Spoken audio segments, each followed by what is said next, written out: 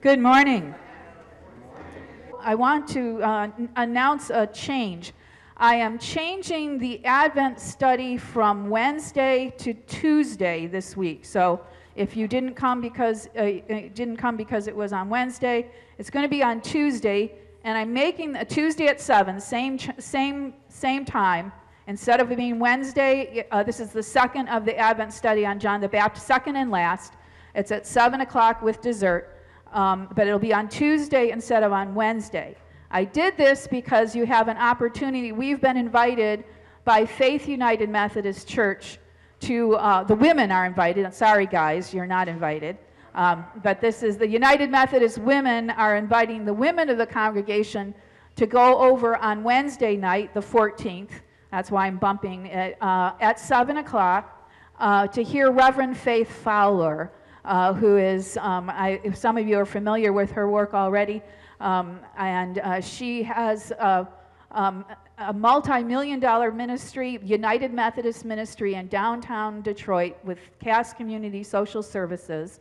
Um, and so she'll be uh, talking about what's going on down there. It will be a fundraising opportunity. Um, we, we're invited, if we, if we have enough people, we can have a table by ourselves. Otherwise, they'll, I know Paulette and I are going to go over. If you're interested in going, let me know today so that I can say, hey, you know, we'd like a table and, and then, you know, we provide, I, I'll provide lunch for, what, too loud? Oh, no, it's, it's, it's not a cost to go. It's, it's you bring your checkbook and as the Spirit leads you, you write the check. Yeah, no, it wouldn't be so, yeah. No, she, she's looking, she's going to be looking for, you know, whatever, you know, whatever God leads you to give, okay? It's not an in the door thing, but it's a, you know, cost. It's free to go. I'll provide dessert for, or, or if we're split up in tables. But, you know, she's, uh, I, I was sitting with, Jim and I were sitting with her uh, yesterday um, at the pastor, clergy, and spouse hang, uh, breakfast with the district superintendent, and she was talking about, you know, in the, in the midst of a, you know, $24 million fundraising campaign for all the visioning of things that she's got, uh, wants to do in downtown Detroit. So, yeah, it's not a, it's, you know, so like, that's why I said bring your checkbook. And, and uh, so, anyway, um, but that's a, she's a wonderful speaker and has an amazing um, ministry downtown. So there's that opportunity on Wednesday at 7, not here, but at Faith United Methodist Church. So tell me if you're interested, um, and I'll get back to Cindy about, um, um you know, what, how many of you want to come. So, and hopefully uh, next time, uh, next year, they'll open it up to uh, the male gender as well. Uh, other than to say, a week from this Wednesday, we're going to have a longest night blue Christmas service. And then, of course, uh, Christmas Eve is coming up quick. Today is two weeks from Christmas. I want you to consider inviting your family, friends, acquaintances, strangers, anyone on the street to join us for, for Advent worship, for Christmas Eve worship, and even for Christmas Day worship. So, with that, I turn it over to Jeff, and uh, we'll have some music as we, as we worship and, and uh, continue our service.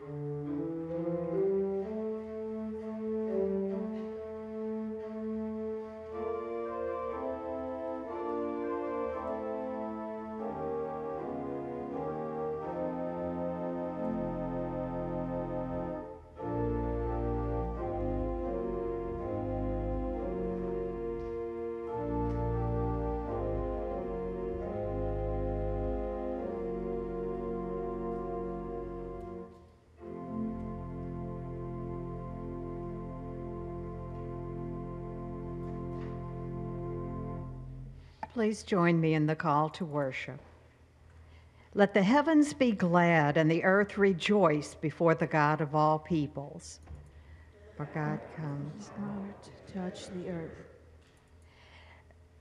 Let us open our hearts in worship and trust and offer our lives in willing service. Holy Spirit, open our hearts and minds to experience the living Christ here and now. Help us to worship him with joy and gratitude. Please stand as you are able for our opening hymn, Angels from the Realms of Glory. Number 220 in the hymnal, and the words are on the screen.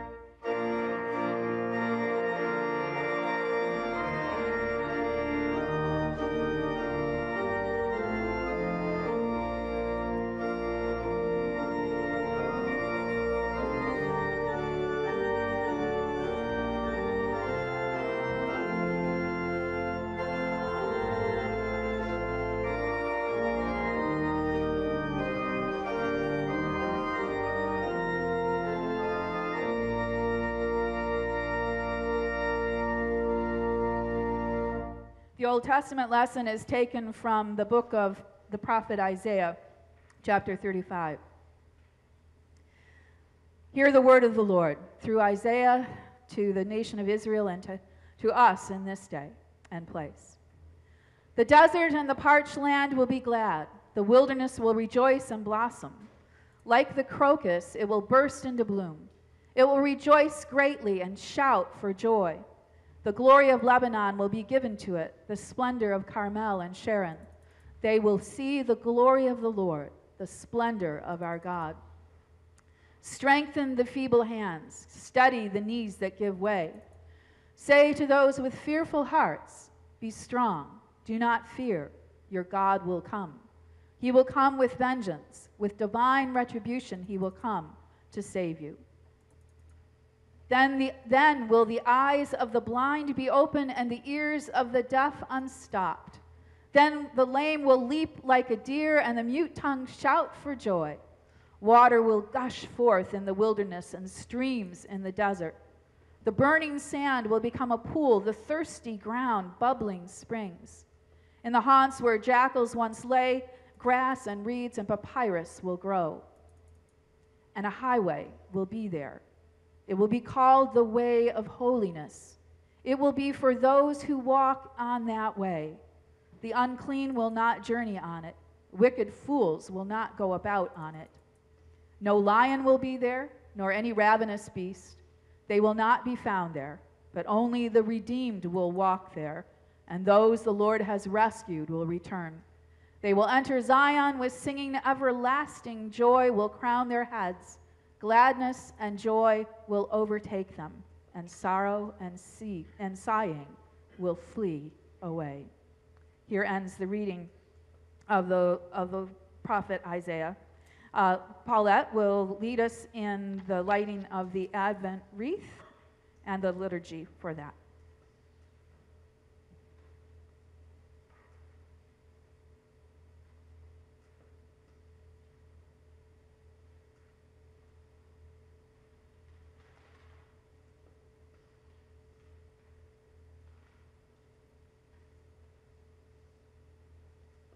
Please join me in the liturgy.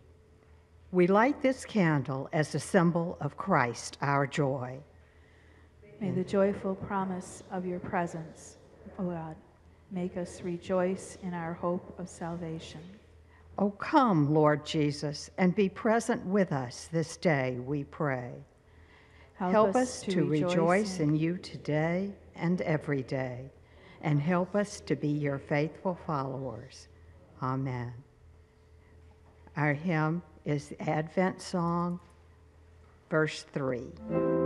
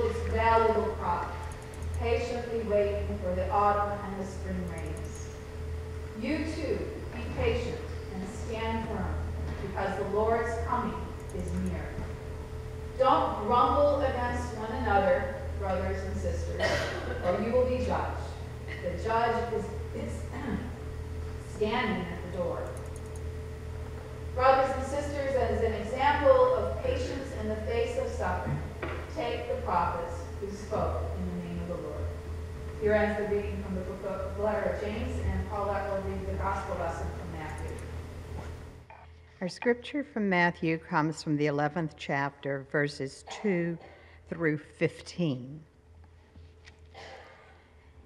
When John, who was in prison, heard about the deeds of the Messiah, he sent his disciples to ask him, Are you the one who is to come, or should we expect someone else? Jesus replied, Go back and report to John what you hear and see. The blind receive sight, the lame walk, those who have leprosy are cleansed, the deaf hear, the dead are raised, and the good news is proclaimed to the poor. Blessed is anyone who does not stumble on account of me. As John's disciples were leaving, Jesus began to speak to the crowd about John.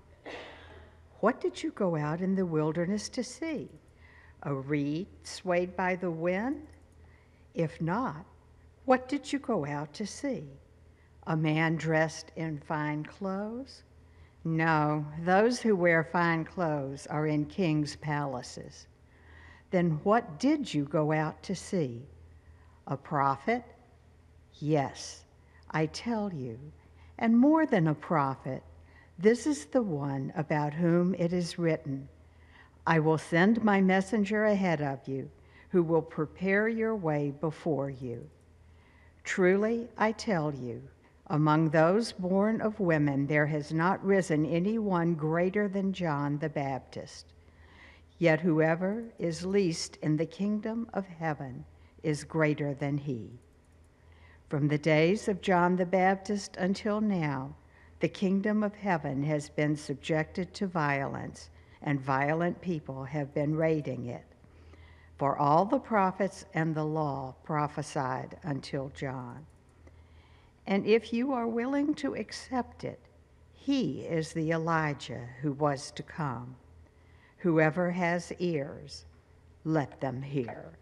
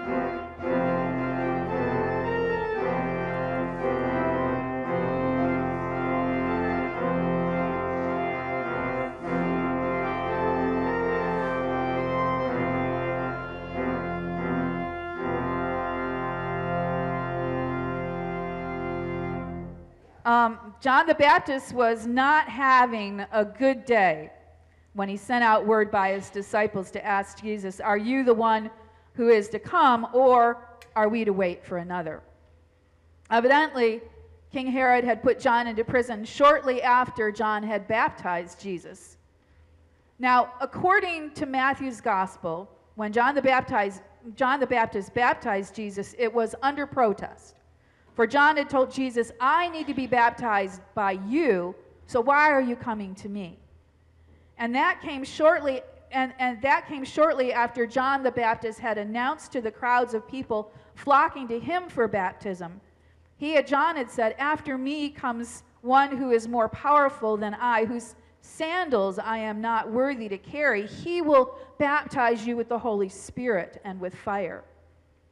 Now, it seems very clear that at the time of Jesus' baptism, John the Baptist, recognized Jesus as the one more powerful than himself, the Messiah whose coming he had predicted. Indeed, there is absolutely no doubt about that fact when we looked at John's gospel. And here, John tells his disciples when he saw Jesus coming towards him, Look, the Lamb of God who takes away the sin of the world. This is the one I meant when I said, A man who comes after me has surpassed me because he was before me. I myself did not know him, but the reason I came baptizing was that he might be revealed to Israel. And then John added this testimony I saw the Spirit come down from heaven and as a dove and remain on him.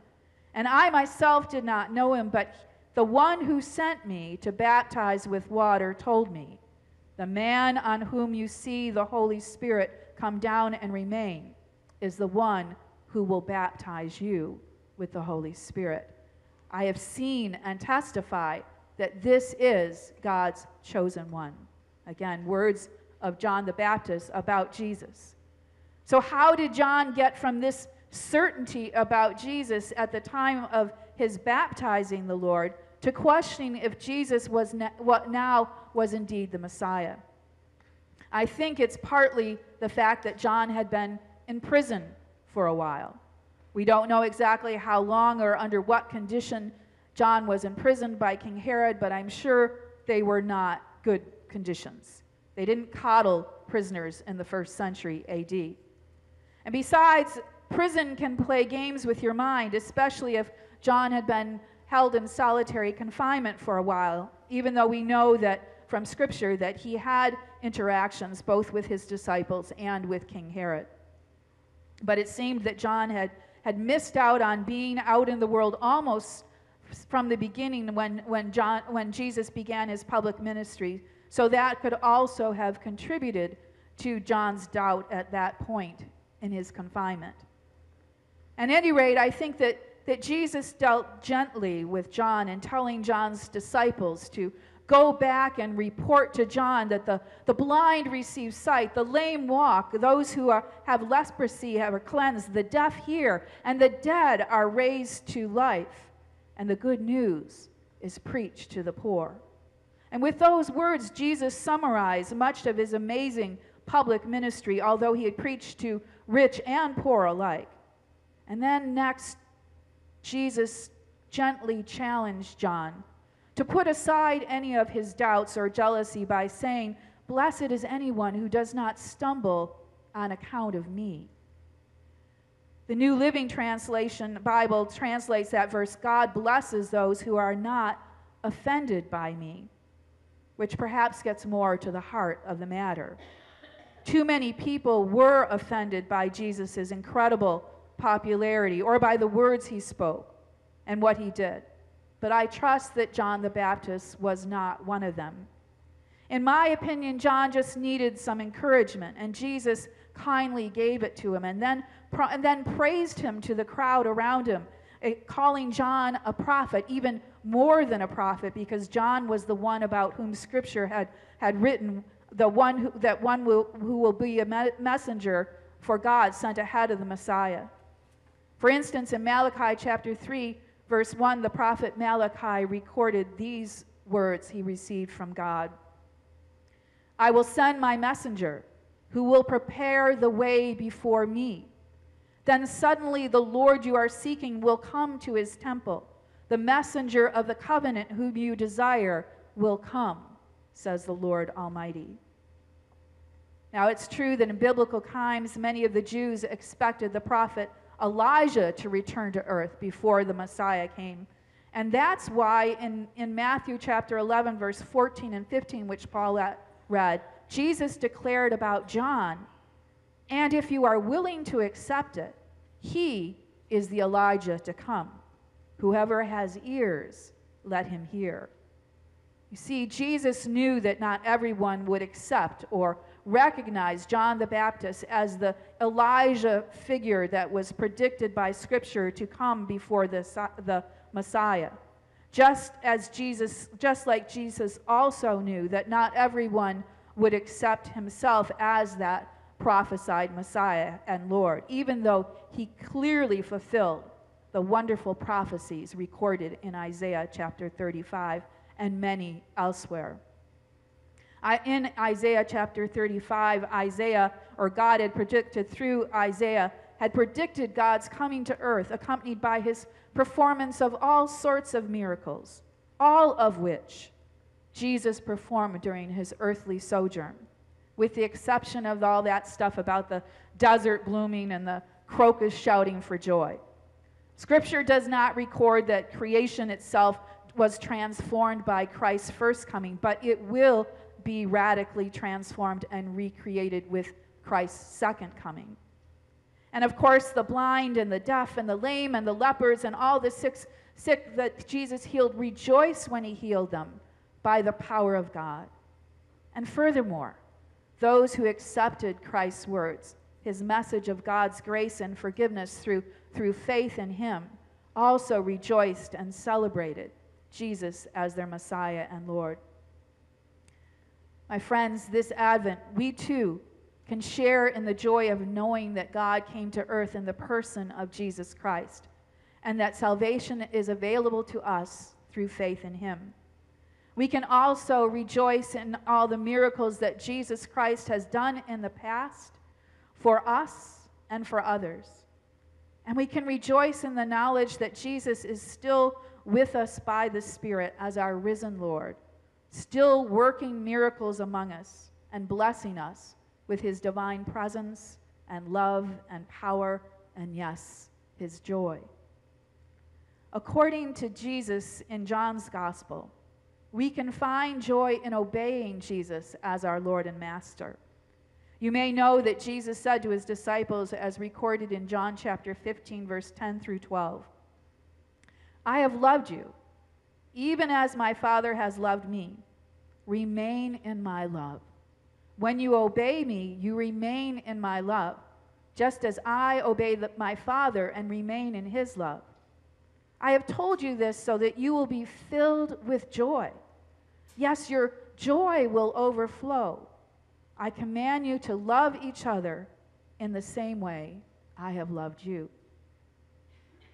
So it seems, my friends, that, that we can and will find joy this Advent season and all year round in understanding that Jesus loves us, that God loves us, and then in joyful obedience, responding to Christ's message by, by focusing our efforts on loving others just as Jesus has loved us.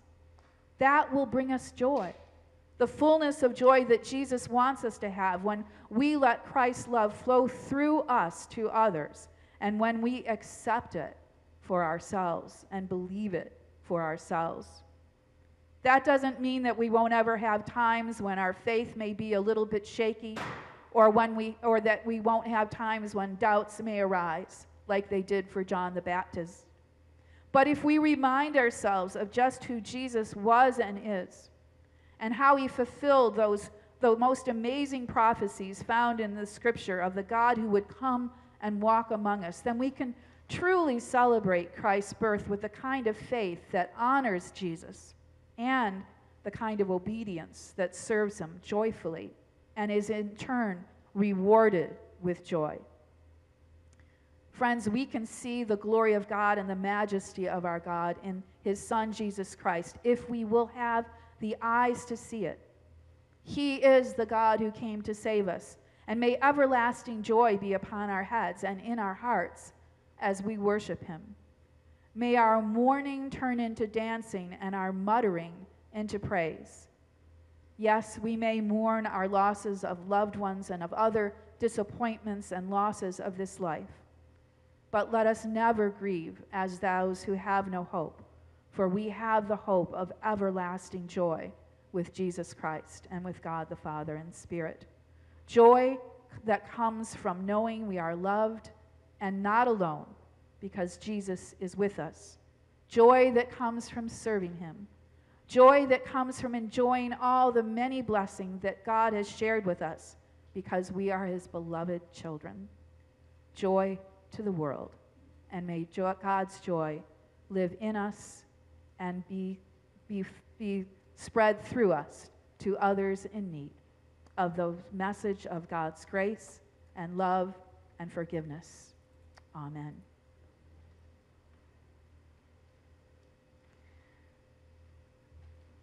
I invite you now to stand for that Boy Child of Mary, number 241 in your hymnal as well as on the screen.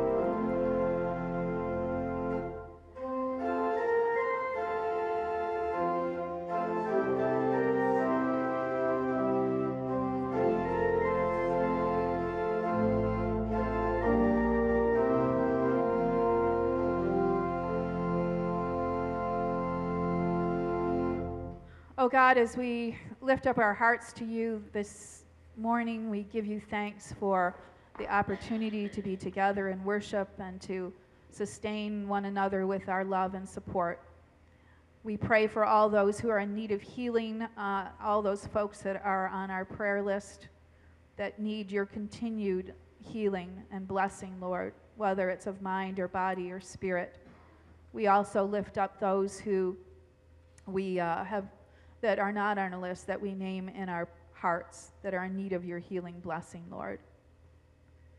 We know that that um, that grief, especially during these holidays, is so difficult. And we pray that you would be with Lynn and Caroline and, and Rena and Tim and their family, and, and uh, Jan and Lee Wynn and their family, and of course, all of Caroline's family and, and, and Lynn's family and their recent losses of loved ones. We pray that you might give them the assurance of your, of your presence and your peace and comfort and strength. Be with all those who grieve in these, in these times. And wrap your loving arms around them, Lord. We know there are so many uh, that are in need this day. And so we pray for all those who are struggling to have enough food or proper clothing or shelter, for those who are refugees or uh, whether from violence or poverty. Lord, we pray for all those in desperate need and help us to know what you would have us do to help and guide our hearts and our hands to do so. Lord, we pray that for the leaders of the nations, we pray for peace in, in the Ukraine and elsewhere around the world. And Lord, we pray that you might bring peace into our hearts and homes where we are, when we are troubled, whether for, for whatever reason, Lord. We pray for all those relationships that are stressed and struggling in these holiday times and long before that. Help us to be peacemakers who forgive. We ask all this and so much more in the precious and powerful name of Jesus Christ, our Lord and Savior, who taught us to pray to you, saying, Our Father, who art in heaven, hallowed be thy name.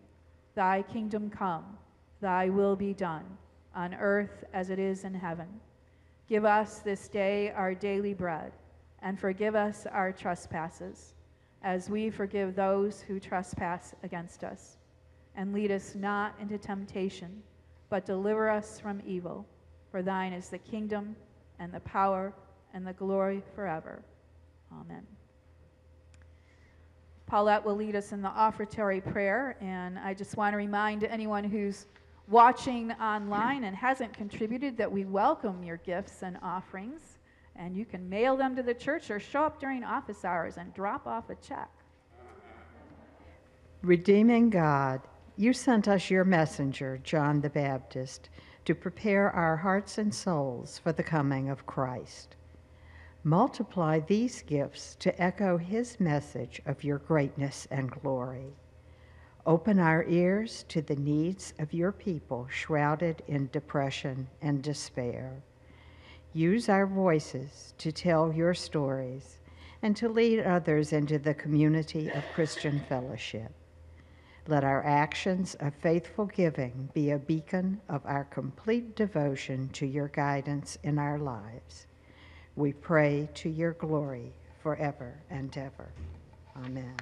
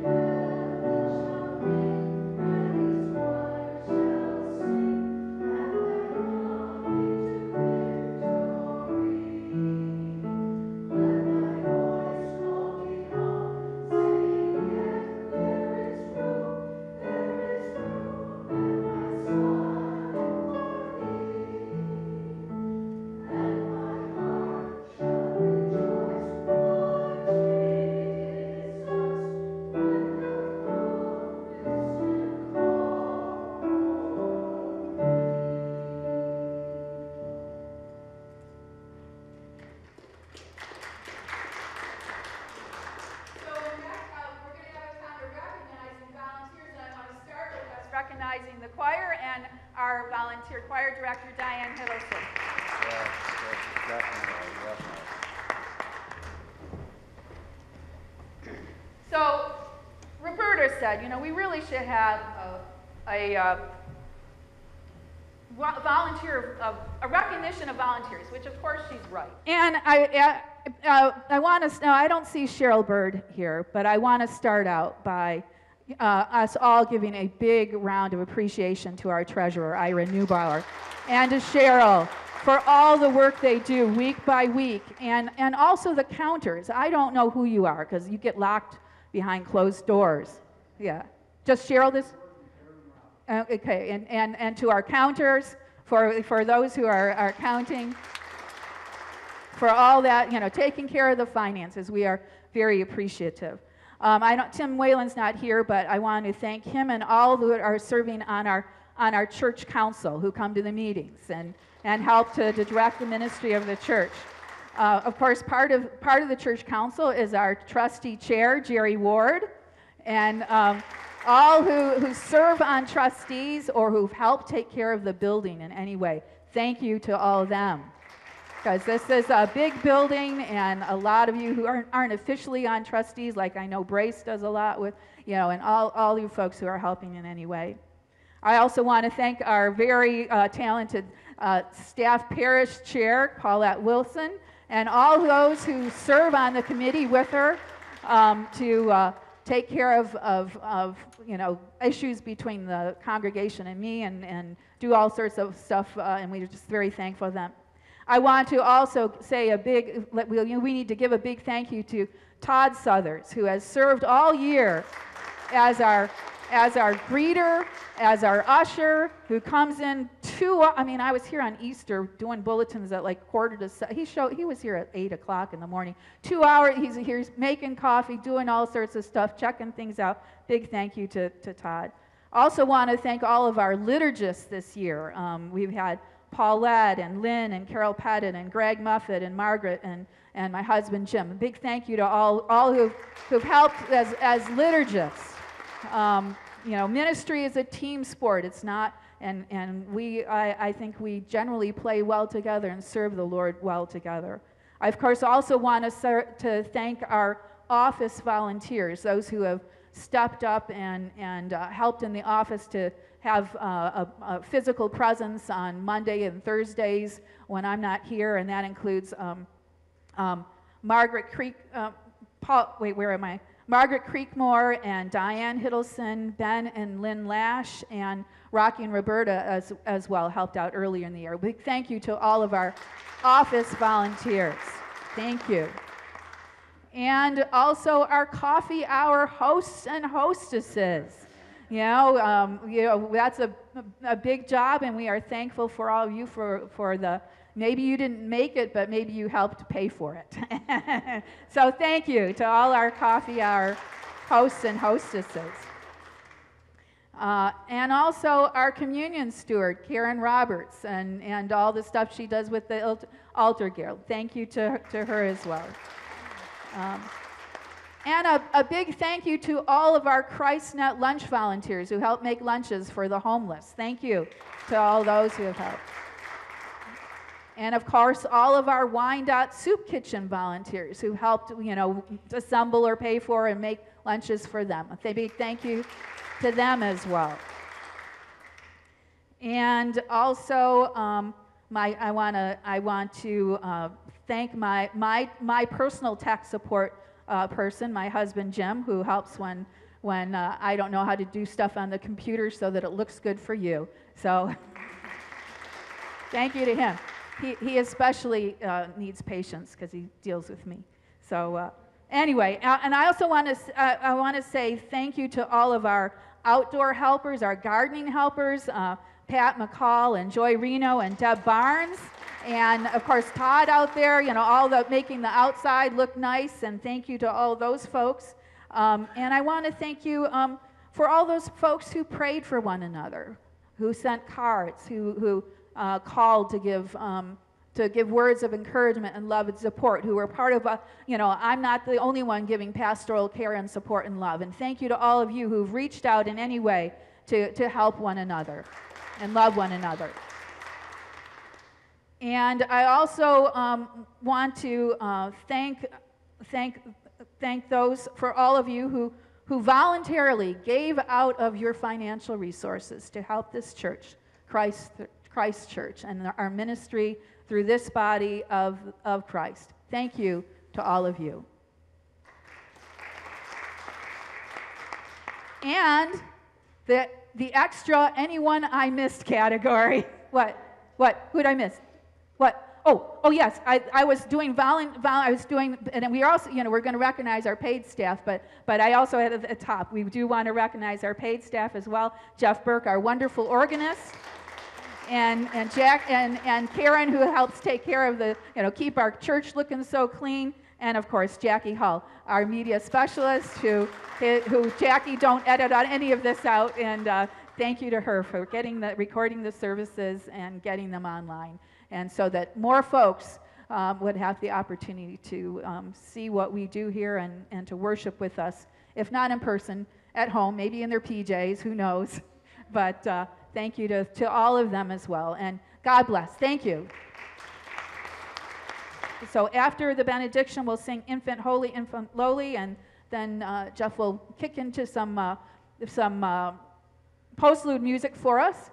And uh, I know Rock and Roberta are already out there. Besides the cookies, I'm told that they bought some submarine sandwiches. So we're going to have kind of a volunteer appreciation, you know, you know, nice lunchy thing going along with those Christmas cookies. So you might not get as big a sugar high from, uh, but you can go and unleash your inner cookie monster uh, in, in just a few minutes. So. May God the Father, God the Son, God the Holy Spirit bless, preserve, comfort, and keep you. Go in peace to love and serve the Lord. Amen.